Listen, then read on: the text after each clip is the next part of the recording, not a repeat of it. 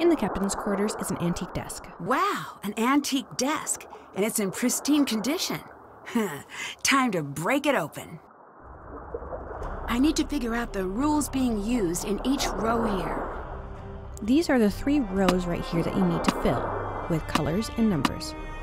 Figure out what the similarities in each row are and try to match them.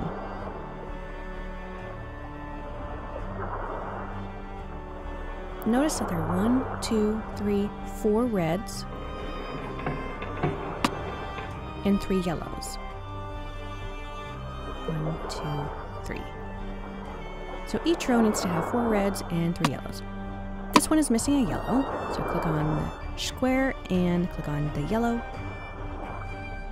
This one's missing a yellow as well. There are three yellows already here. We need one more red. Now for the numbers. Each row adds up to 9. 3 plus 4 plus 2 is 9. 3 plus 5 plus 1 is 9. These rows were already done, so you can gather clues from these. 1 plus 2 is 3, plus 5 is 8, so you need just 1 to make 9. 1 plus 2 is 3, plus 3 is 6, so we need 3 here. And the last row, 6 plus 2 is 8, so we need just one more number. You'll know you're correct when it opens.